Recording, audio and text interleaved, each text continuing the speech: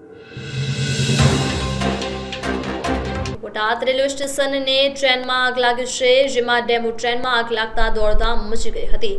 તો platform number સાત ઉપર બંધ હાલતમાં હતી, ત્યારે આગ લાગી હતી, જેને કારણે મોટી જાનહાનિ ટળી હતી. તો રેલવે વિભાગના અધિકારીઓને જાણ થતાં ઘટના સ્થળે દોડી આવ્યા હતા. પ્રાથમિક તબક્કે મળતી માહિતી મુજબ આ ડેમો ટ્રેન બોટાદથી સુરેન્દ્રનગર સાંજે છ વાગે ઉપડે છે. તો ટ્રેન બોટાદ રેલવે સ્ટેશનના પ્લેટફોર્મ નંબર સાત ઉપર બંધ હાલતમાં હતી, ત્યારે એકાએક વિકરાળ આગ લાગી હતી, જોકે આગ લાગવાનું કારણ હજુ પણ અકબંધ જોવા મળી રહ્યું છે.